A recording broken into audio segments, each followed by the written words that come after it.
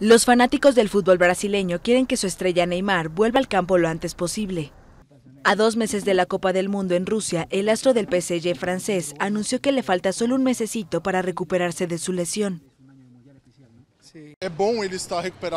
Es bueno que él esté recuperado en ese plazo que él dice de 30 días, porque ya podría llegar a la Copa del Mundo jugando nuevamente.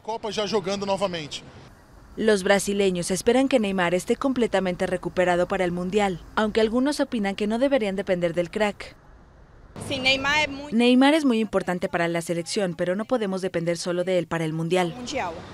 Neymar de 26 años grabó el jueves un video para un programa de televisión y aparece sonriente con una bota ortopédica en su pierna derecha y muletas a un lado.